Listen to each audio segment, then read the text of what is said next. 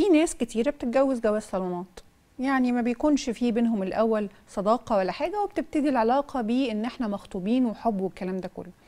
هل أنت مع آه، هذا النوع من الزواج ولا أنت شايفة إنك لا يعني لا تحبذي موضوع جواز الصالونات ده؟ بعض بعض الجواز بتاع الصالونات بيبقى ناجح بس ناجح في إيه؟ لو إحنا اتبعنا مثلا خطوات معينة.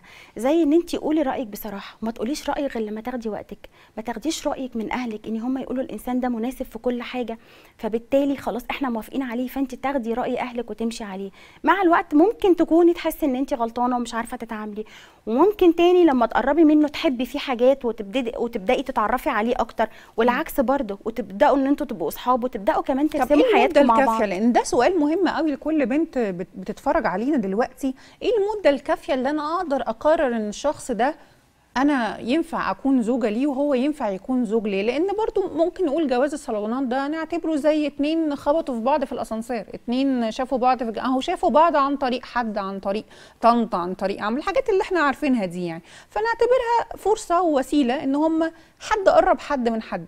فممكن نعتبره طريقة عادية بس إمتى تقدر تقول للبنت إن ده الوقت المناسب إن أنا خلاص هاخد فيه الخطوة دي؟ يمكن الفترة المناسبة قوي هي سنة ويمكن أكتر من سنة سنة أو سنة وست شهور.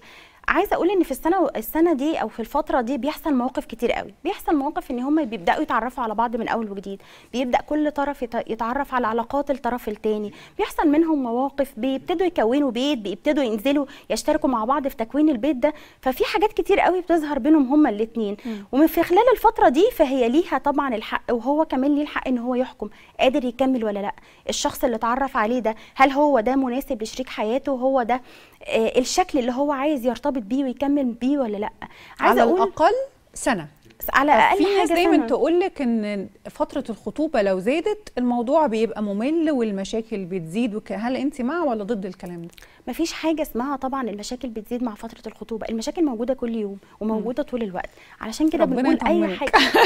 يعني دي وسيلة ان إحنا موجوده كده كده هي موجودة. كده. كده ما إحنا مش عايزين نقول مشاكل. هي المواقف الحياتية. في اتنين ممكن يتقبلوها ويعالجوها ويحلوها ويبقى موقف وخلص. وفي اتنين تاني اللي هم مش عايزين يحلوا أي مشكلة فيقفوا يسك- يسكتوا ويربعوا ايديهم ويقولوا لا دي مشكلة. ويفكروا في المشكلة ما يفكروش في طرق حلها. ومن هنا بنقول لا لازم عشرة ولازم وقت. ولازم تتعرفي على الشخص كويس قوي قبل ما تبدأي تاخدي الخطوة دي معاه.